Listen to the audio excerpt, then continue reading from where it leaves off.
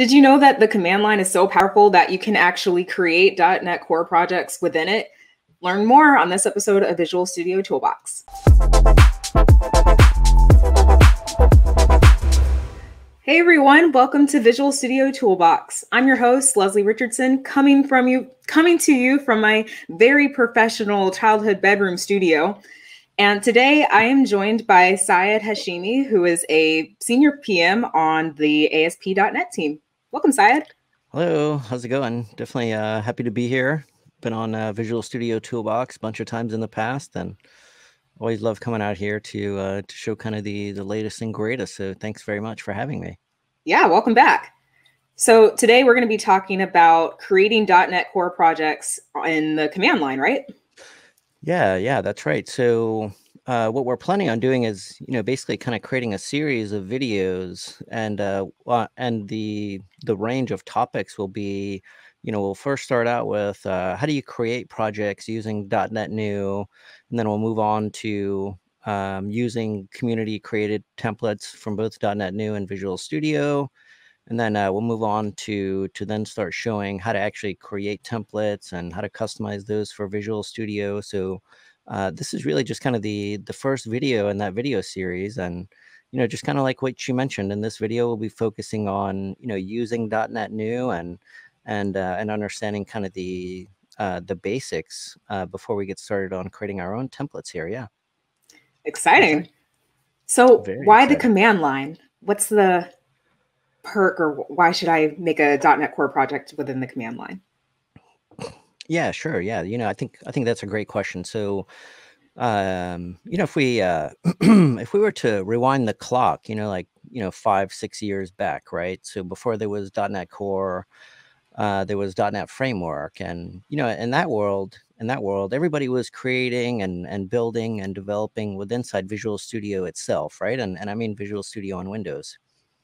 Uh, but now with .NET Core, we live in kind of a different world, right? So if you're creating a template, uh, if you're creating a project template, and if you want to have the the broad reach, you need to surface that in a way that can meet users where they're at, right? So uh, today, users that will develop with Visual Studio 2019, or maybe with Visual Studio Code or Visual Studio for Mac, and and uh, there's also third-party editors out there like JetBrains Rider, and um, you can also customize any editors like Sublime and, and Notepad++ to also do development with .NET Core. So um, the way that we've kind of uh, architected this is uh, we have we have what's called the the template engine, and you can think about that as being like you know the the kind of foundation that everything would sit on. So we've got the template engine, and then sitting directly on top of that would be .NET New command line, and also Visual Studio and Visual Studio for Mac. So uh, the idea is, you know, we should we, we can create templates using the template engine, and then we can surface that uh, in all the relevant locations, right? So if you create a template with template engine you can get that to appear in the .NET New command line. It can also show up in Visual Studio 2019, uh, Visual Studio for Mac, and and also I believe Rider's got that extensibility as well, to where it will show these kind of community created templates. So uh, to answer the question is really, you know, you just need to meet the users where they're at, and you know, the people developing .NET Core applications, they're not only in Visual Studio anymore. They're they're in various different places, and and then uh, also, you know, I think one kind of um, another benefit is creating a template with the template engine is very kind of easy in comparison to the alternative technologies that are available out there. So that's that's why I would say that. Yeah. So you get the the broadest reach, uh, and then it's also easier to create and maintain your templates if you author them with the template engine. Great. Yeah, I personally enjoy using the command line, and I always forget that you can actually create a project in the command line to begin with. So can you show us how it works? That's right. Yeah. So let's uh, let's go check out the uh, the terminal here. So let me get my terminal app opened up here, and uh, got a helicopter flying in the background. I apologize about that. Um, so first, I want to let's go ahead and take let's just explore .NET New, right? And um, .NET New is delivered with the uh, with the .NET SDK. So let's just go ahead and execute .NET New and and see what we get out of this. So if you run .NET New, uh, it'll go ahead and show you the various different templates that are available to be used. Um, so here we can see I've got a mix of different things. You know, I've got the um, most of these are kind of built-in templates, but we can also see I've got some community Mhm. and custom templates installed here as well. Um, so if I was to use this, uh, uh, sorry, at the bottom, there's also some examples here. So let's take a look at that. So if I were to do .NET New, and then we would give it the name for the template that we want to create here. And that's what we see here in short name. So there's various different options here. Let's go ahead and explore the, the MVC option here. So if I was to do .NET New MVC, um, I could also get help that's specifically help that's specific for this particular template here. So you can do .NET New uh, template name dash H to get the template specific help. Uh, and you can see we've got a bunch of different kind of parameters here as well. So the help will will basically kind of spit out the different parameters that you've got here, and uh, and then we can kind of go from there. And there's also some uh, some common parameters here. Uh, where are we at? So those are here. So some of these that we'll be taking a look at is output, uh, and then install we'll be looking at in the next video. And there's also a name value here. So we'll we'll be using name and output here during this video. So this, let's go ahead and create a, let's go ahead and create a, a directory here. I'll say demo one. Let's go ahead and go into that. If I just wanted to create an MVC project, I can just do .NET new MVC, and then that'll go ahead and create a project right in this particular folder here.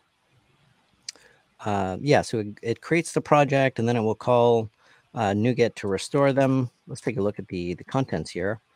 So we can see I created an MVC project and it's named demo1.csproj. It got this name from the name of the folder here. So if you don't specify, if you don't specify a name, uh, then the folder name will be used by default. So that's that's kind of the idea here. Mm-hmm. Let's also take a look at this demo project real quick. Or actually, sorry about that. Let's take a look at the the program.cs. One thing that I want to point out to you Oh, wow. So the excuse me, the project name was demo one. So we can see that when I created this project, the namespace was customized uh, for that project name. So now it's created demo one here. Nice. And uh, yeah, so we'll talk a lot more about you know how these replacements work and all that sort of stuff in our kind of additional uh, videos here. yeah, so that's exactly what I'd expect if I were creating a template via Visual Studio. Yeah, right. that's yeah. right. That's right. and the the mechanism that's used here uh, is the same with .NET New as well as with Visual Studio. There's uh, another way that I could do that as well. Let me pick a different template here. So we'll say web app. That's a, that's the name of another template that we have. Instead of uh, just going into the directory itself, you can specify the directory that it should be created at, and then that will also be the name of the project. So I can say .NET New Web App, uh, My Cool Web. Go ahead and create that. So now that will create it uh, into a folder that's called My Cool Web. Mm-hmm. And then if I was to go and look at the, uh, let's just take a look at the uh, the startup.cs for this one, I guess. We'll see that the the namespace for this one has also been kind of set to My Cool Web, right? And and now we've got a project that builds and runs, right? So I can verify that by doing .NET build. Uh, and then we could also uh, run this project with .NET Run, or we can go ahead and load this up into uh, Visual Studio or, or whatever editor or IDE uh, that users prefer here. So that was one kind of uh, way of doing it. So we also mentioned that we would show the um, we would show the the name option there. So let me go into this new folder, demo two. Uh, if I say .NET new, say web API, uh, and then if I give it a name, I can say my web API. Now that should create it in this folder, uh, but with the name my web API, or in the folder called my web API, and then the name will be my web API. And uh, if I was to inspect uh, the program or the startup or the weather forecast, we would see that that namespace has been uh, declared uh, appropriately as well. Let's take, a, let's take another look through the, through the help real quick and see if there's any additional options here uh, that we haven't talked about. So one was uh, .NET New List. So let's go ahead and take a look at that real quick. .NET New dash L. So for .NET New dash L, this uh, will just list out all the templates that are uh, that are that have been installed here. And you know, like I mentioned, I do have some kind of custom templates installed here. So Mhm. you know, if you see something different, then that means that you know I've just kind of installed something additional that you might not have on your box. Yeah, I don't recall seeing Saya Tool Yeah. on mine. Yeah, that's right. That's right. That's right. Let me let me kind of explain this uh, this output here. So here we've got the name of the template. This is just kind of a user friendly name. Uh, here's the short name. So that was the name that I was using before, right? We saw MVC, Web App, and Web API, and, and those are here. MVC, Web App, and Web API is right there. here we can also see the the language option. So let's say if I was an F sharp or VB developer, I can take a look at this language column uh, to to tell me, you know, what templates are available for that particular language as well. And uh, and then the tags are um, they're just kind of categories, right? So if I was interested in a console app, I could do console. So let's do this .NET new dash L dash H. So what help is available for for list here? And uh, we can see that I can filter by language, and uh, I and we can also filter by type here. So .NET new uh, dash L dash lang F sharp. This should display only the F sharp templates, and then you know similarly for VB, right? Mhm. And then we can also do.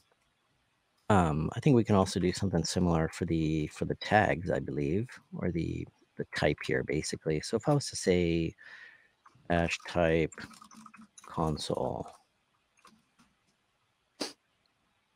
Oh, sorry. Okay, so that one looks like it didn't. Uh, oh, oh, sorry about that. My bad. This is different. This is different. Um, one thing that I forgot to mention here was, you know, in the list of templates that were kind of output here, uh, there's a variety of different things. You know, the vast majority of these are project templates, uh, but we do have a few item templates here, like git ignore, global JSON, so on and so forth. So that's where the that's where the type filter comes in. So if I was to to list the project, I can do .NET new dash L dash dash type project, and this will just show me all the project templates. Uh, if I wanted to see only the item templates, go to replace the type with item there. You go back and see how can we filter on the the tag. I'm not sure if that's that may not actually be possible here to actually filter on the tags here, but um, but in Visual Studio these tags will appear and you can actually filter uh, in Visual Studio there. That is pretty sweet. I had no idea you could get all the same functionality that you normally would if you were to open Visual Studio for the first time, just in the command line. Yeah, yeah, that's right. And then uh, you know, one thing that I kind of forgot to mention here was, you know, everything that I showed here was was with built-in templates. Um, but you would get the same exact functionality with uh, with custom templates as well. Um, so if I were to do .NET New Sayed Web dash H, I would get the the template specific help for that custom template that I've created here. So so you get the exact same experience, whether it's a uh, a built-in template created by Microsoft, or if it's a template that you created yourself, um, or if a third-party company created it, you know, you get the same exact experience here. It's not like we're special casing uh, the Microsoft templates here. You know, we got the same exact experience all across the board. That's really cool. Makes you feel more official with the templates that you create. Yeah, definitely. And that was- you know that was that was some feedback that we have received. You know, a lot over the course of the last uh, several years was you know people the template authors they want their templates to appear in a in a first class way. Mhm. Um, so when we when we created .NET New, we made sure to uh, to kind of you know fulfill that promise, and and we're also trying to do the same thing in Visual Studio and Visual Studio for Mac as well. That is exciting stuff. So I think that's that's really about it here. You know, we we kind of talked about how can we use .NET New and how can we use the help system to kind of explore, you know, how to learn more about the command and and also some kind of basics here. So I think that's really the that's really it for this video. And then the the next uh, videos that follow, we'll we'll start uh, seeing how can we install community templates and then use those in .NET New as well as uh, Visual Studio. That is some good stuff. I can't wait. And Great. just to close out, you mentioned that you need the .NET SDK for the command line functionality. So where can users go to make sure they have that installed? Oh yeah, right. So so they can go to uh, usually I just go to to GitHub actually to get that. Uh, but you know, I think the easiest way is to just do .NET Core download, and uh, that'll take that'll take them to the right place here. So just .NET.microsoft.com uh, to get the the latest download of uh, .NET Core. All right. mm-hmm. Can't wait. Yeah, I'm going to be yeah. Yeah, and everything that I'm showing here applies to both .NET Core 3.1 as well as .NET Core 5. Yeah. Sweet. Mm-hmm. That is very exciting.